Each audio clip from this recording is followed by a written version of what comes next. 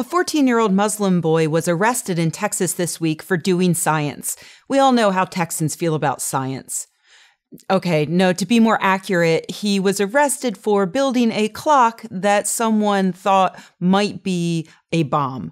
And we all know that clocks are an integral part of the bombs we see on television. Without the clock part, how would we ever know how much time we have left to run away or to cut the green wire or to hacksaw off our own arm? The good news is that the boy, Ahmed Mohamed, is getting a huge outpouring of support from the internet, including from the President of the United States, who has invited him to bring his clock to the White House. That's probably not going to ease the minds of the Texas school administrators who I assume believe that Barack Obama is also a Muslim and just wants to see Mohamed's death clock so that he can examine it and put it into mass production in order to take away Texans' guns somehow. This is all reminiscent of Kiera Wilmot, the 16 year old black Floridian who was arrested for causing an unauthorized chemical reaction in a science lab. The reaction made a pop sound and put out a bit of smoke. And for that, she was suspended and arrested.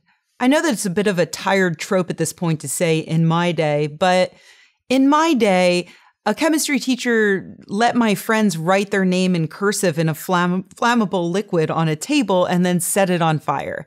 And as I mentioned in a previous video, just prior to my day, when 18 year olds could drink, my biology teacher let them brew beer as their final senior project. Of course, also in my day, we had jarts or lawn darts, which were a deadly projectile that you were encouraged to hurl at the faces of your siblings as a fun summertime activity. And when I say deadly, I'm not kidding. Children were murdered with this toy, with lawn darts. And even our friendly, quote unquote, girlier toys were also super dangerous, like the Easy Bake Oven, which may as well have come with a recipe card for baked children's fingers especially dangerous when combined with, you know, the traditional Rainbow Brite, highly flammable sleeping bag.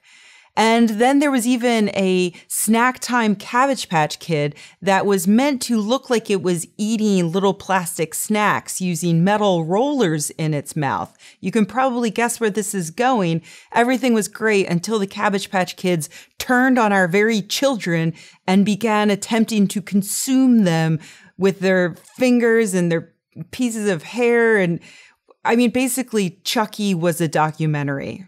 I guess what I'm saying is that things weren't necessarily better back in the good old days before safety regulations. So we shouldn't be fooled by that kind of false nostalgia. But we do have to be careful to walk a line between keeping our kids alive and also giving them room to make mistakes. At least for God's sakes, giving them enough room to be curious kids who are sometimes going to make things that look like pipe bombs that are not actually pipe bombs. I mean, I'm I'm a person who travels with something that looks like a pipe bomb uh, for Quizotron. Um, if you've ever been to Quizotron, you know this is this is our our buzzer machine. This is what it looks like. This I get on airplanes with this. If I were if I were a Muslim man, I Quizotron would not exist, you guys. And I guess that brings me to the final point of all of this, which is the role that racial profiling has played in all of this.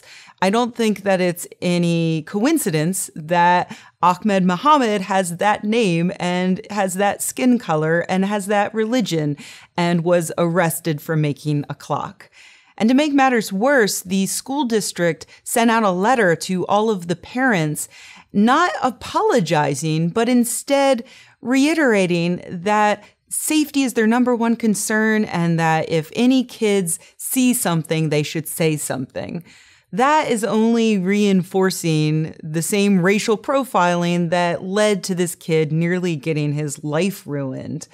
How about if you see something, ask something? Because maybe you will learn how to make a cool clock. and not accidentally ruin a kid's life.